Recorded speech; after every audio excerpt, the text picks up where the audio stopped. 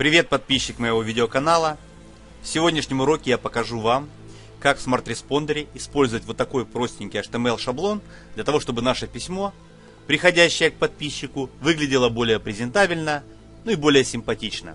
Чтобы это не была просто серая колонка, состоящая из строк, а здесь можно было вставить и картинки, и какие-то изображения, и, соответственно, такое письмо будет более читабельно.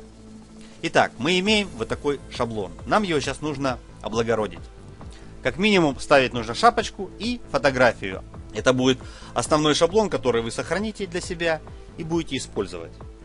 Я вам сейчас расскажу о двух вариантах присоединения фотографий к этому шаблону. И потом, соответственно, его использования. Первый вариант это картинки, которые будут прикрепляться непосредственно после закачки в Smart Responder. И второй вариант это картинки, которые прикрепляются в качестве ссылки со стороннего ресурса. Но тут есть подводные камни. Давайте начнем с того, что создадим папочку, назовем ее для Responder. И здесь уже подготовим заранее две фотографии. Вот я их подготовил, нашу фотографию, и назовем их, чтобы было вам понятно. Либо это по имени обязательно, и можете указать еще и размеры, вот я подобрал размеры 140 на 150 или 150 на 150 будут для этого письма само то. И соответственно шапочка Empower Network ширина. Замечайте, ширина для этого шаблона должна быть 600. А уже высота может быть 80, 100, 120, ну не более 150, а то будет слишком широко. Вот, от 80 до 150. И то же самое называйте ее так, чтобы вы понимали. Обязательно должно быть латиницей. И для того, чтобы вы потом разобрались в том обилии фотографий и изображений, которые у вас будут закачаны в Smart Responder. Поэтому каждое изображение должно быть вам понятно. Что это такое? Даже только при одном взгляде на название. Итак, мы их подготовили. Я возвращаюсь в Smart Responder. И здесь я делаю следующее. В верхней части у нас и будет header, шапка. Я ставлю курсор туда, посередочке. Выбираю в средней части значок изображения. Нажимаю кнопочку «Выбор на сервере». И здесь обратите внимание, у меня оплаченный аккаунт Smart Responder, и у меня доступно место на сервере 5 мегабайт. У тех, у кого он не оплаченный, доступно место всего лишь 1 мегабайт. Поэтому здесь имеет смысл подготовить заранее наши изображения, чтобы они были максимально облегчены, э, с меньшим размером, соответственно, с меньшим весом. То есть не более там 20-30 килобайт. Тогда вы сможете их закачать достаточно много сюда. Итак, выбираю кнопочку обзор. Меня интересует папочка для. И я выбираю Header. Окей. Загрузить. Он загружен. И сюда же я добавляю и фотографию. Загрузить. Готово. Чтобы отсюда выбрать, просто двойным кликом щелкаю. И вот она появляется. Значит, шапка, она автоматически выравнивается по центру. Значит, здесь у нас в нижней части есть возможность выровнять по левому и по, по правому краю. По умолчанию она выравнивается по центру. Нажимаю ОК. Вот она шапочка на месте. Все прекрасно. Теперь вставляем фотографию. Фотография будет как раз занимать размер по всему шрифту, поэтому я ставлю курсор впереди верхнего самого названия, нажимаю опять же картинку, выбираю на сервере, кликаю дважды по фотографии, вот она стала.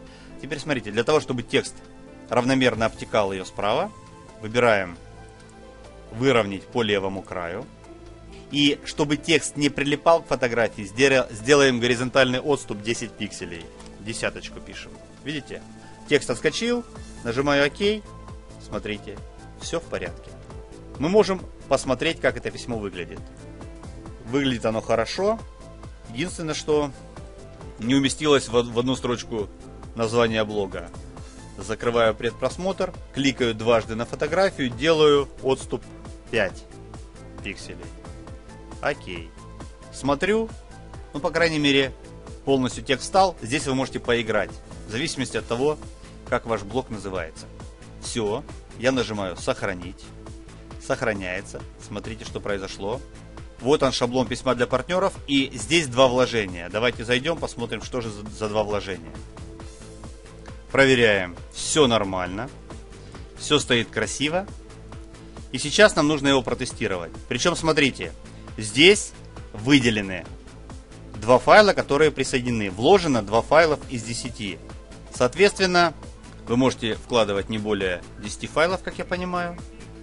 И в этом списке выбираются файлы, которые вы хотите прикрепить к письму, чтобы добавить файлы. Используйте раздел «Работа с файлами». Значит, задача какова? То есть, если вы его отсоединили, то он просто в письме его не будет видно. Поэтому, нажимая Shift или Ctrl, вы выделяете оба файла. Давайте протестируем. Нажимаю «Тестировать» и письмо на мой e-mail пошло.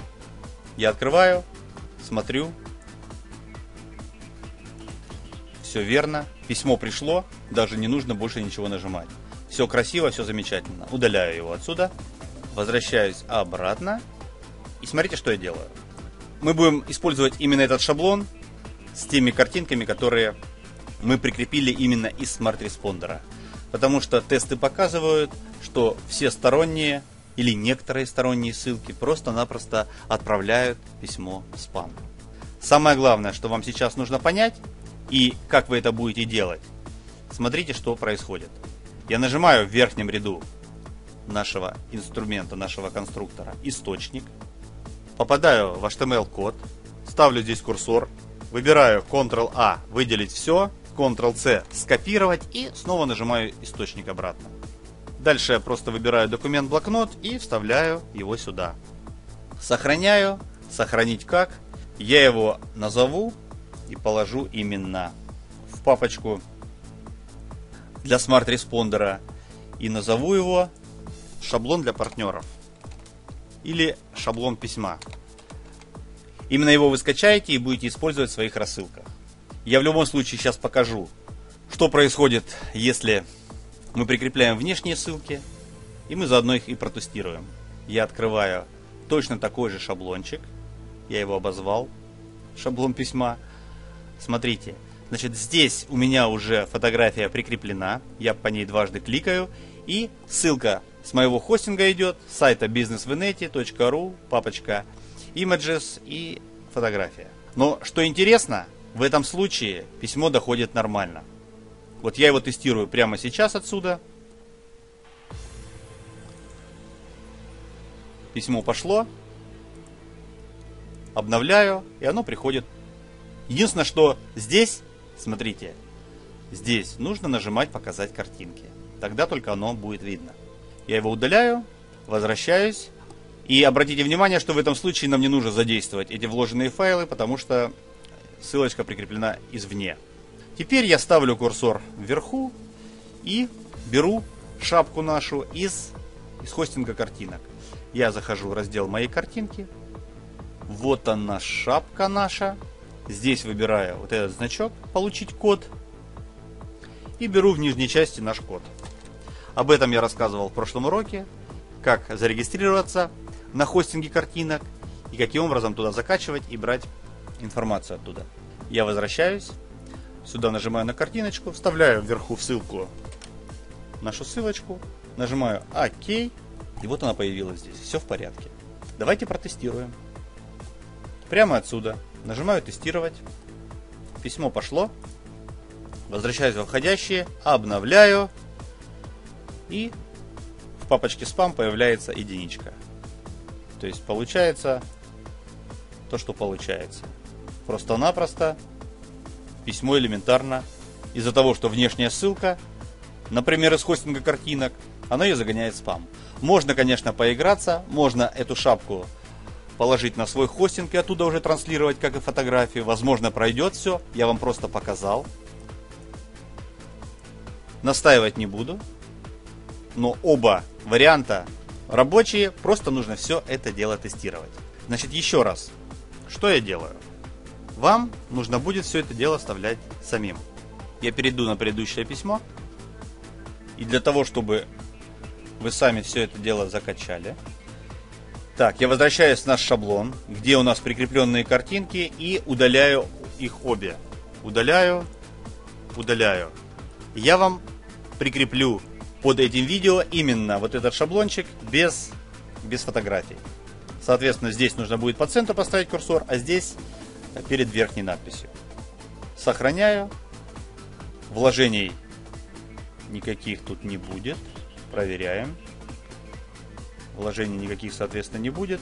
А, вот, написано не прикреплять файлы внизу. Соответственно, я беру, нажимаю источник, копирую код и сохраняю именно шаблон письма без фотографий. Вам уже нужно самим будет их вставить. И давайте еще раз я акцентирую внимание на то, как вставить наш шаблон, который вы скачали, конкретно в Smart Responder, в свою рассылку. Вы заходите в Smart Responder, кликаете рассылки, список рассылок, выбираете ту рассылку, которая у вас создана, куда вам нужно прикрепить, либо же создаете ее. Я открываю вот эту рассылочку. Мне нужно нажать кнопку «Добавить письмо». Добавляется пустое письмо. Обязательно сразу тема. Ну, например, письмо 3 назову его. У нас пустое поле. Мы работаем в HTML-версии письма. Нажимаю «Источник». Иду, открываю шаблон. Ctrl-A выделяю. Ctrl-C копирую. Возвращаю Smart Responder. И прямо сюда в поле вставляю его. И еще раз нажимаю на источник. Вот, шаблон встал на место. Вы просто его сохраняете. Обратите внимание, пока никаких вложений нет, соответственно здесь 0. Вы сохраняете его и потом уже производите все те же самые действия. Открываете письмо, ставите курсор, закачиваете изображение сначала на сервер Responder и потом уже устанавливаете ее здесь. Шапочка, и, соответственно, ваша фотография. Далее, если вы работаете в Word, то обязательно вставляйте его именно через Word. Здесь вот есть возможность вставить именно из Word, чтобы не было лишних никаких кодов. Поэтому нажимаете из Word и скопировали в Word, вставляете сюда, ОК, и появилось. Здесь уже можете работать, изменять шрифт, более читабельный, мне кажется, Вердана, и, соответственно, размер шрифта это уже 12-14. Больше не надо. Редко какие-то значимые ключевые слова выделяете шрифтом 16. У меня выбран 14 Вердана. Замечательно смотрится, именно так и делайте. Старайтесь, чтобы этот отступ у вас сохранялся. Просто работаете. И еще один момент, когда ваш текст скопирован, выравнивайте его по всей ширине тогда он будет тоже более равномерно смотреться, не будет никаких заостренных краев. И, соответственно, ваши картинки, которые вы будете вставлять в теле письма, вы закачиваете также на сервер, уменьшаете заранее размер и выравниваете одну по левому краю, другую по правому краю, одну по левую, другую по правую. Так они будут смотреться более симпатично. Давайте покажу, как искать фотографии, например, в том же Google. Мы переходим в почту, нажимаем поиск, Здесь выбираем картинки. Ну, давайте напишем header. Header. Выходит масса различных вариантов хедера. То есть ваша задача только лишь зафиксировать, как это будет. Нажимаем инструменты поиска, выбираем размер, выбираем точный размер и ставим здесь ширину 600. Высоту, ну смотрите, начинаем играться. Ставим 80. Нажимаем поиск. Вот у нас куча всяких шапок. Следующий момент. Выбираем точный размер, ставим 100. Снова куча шапок. Нажимаем снова точный размер, ставим 120. Снова куча шапок. В любом случае 600 у нас сохраняется, а уже от 80 до 150 вы можете поиграться. Я думаю, что этот урок был вам полезен. Спасибо за внимание. С вами был Широких Виктор. Увидимся. Пока-пока.